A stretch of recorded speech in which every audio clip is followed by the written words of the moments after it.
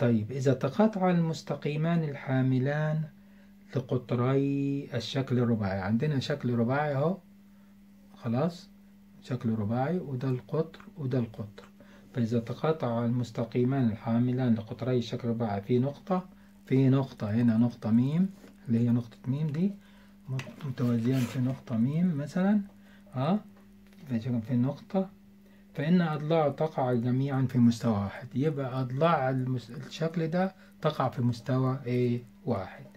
طب دي حالة. طب يعني في حالة ما, ما تطلعش في مستوى واحد؟ آه. لو إيه الشكل الرباعي ألف ب ج د الأضلاع تقع في مستوى واحد لأن ألف ج وإيه وب د اللي هو هنا ألف ج وب د ب د القطرين يعني آه لأن ألف ج يتقاطع ب د في م طيب. فده شكل رباعي. الشكل الرباعي ده لما نيجي نشوف أقطاره هنلاقي القطر ب د ب د أهو يمتد كده ده ب د لا يتقاطع مع مين؟ مع ألف ج لا يتقاطع مع مين؟ مع ألف دي ج ليه؟ لأن هو أساسا الشكل منحني. يعني الشكل يعني الشكل مش مش لأنه في الفراغ. إذا إذا الشكل الرباعي اللي بيجي أضلاعه لا تقع جميعا في مستوى واحد. فهنا في اللحظات دي لا يقع في مستوى واحد. ليه؟ لأن ده ما اتقطعش مع ده لأن فطالما ده ما اتقطعش مع ده يبقى إيه؟ يبقى مش في مستوى واحد. لأن آخر آخر القطر إحنا نمد القطر لفين؟ بنمد القطر من نقطة لنقطة. يبقى هنا عندك ألف جيم أهو. خلاص؟ عملناها بالنقط.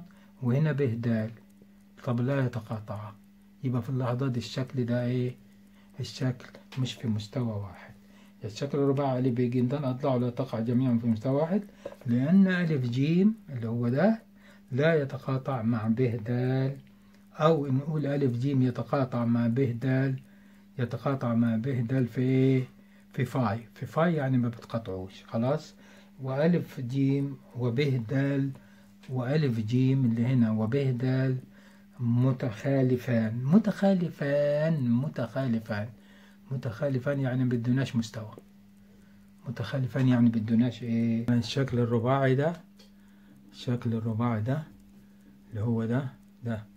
طبعا إحنا قلنا ألف ب ج د فطبعا الشكل ده غير مش في مستوى واحد.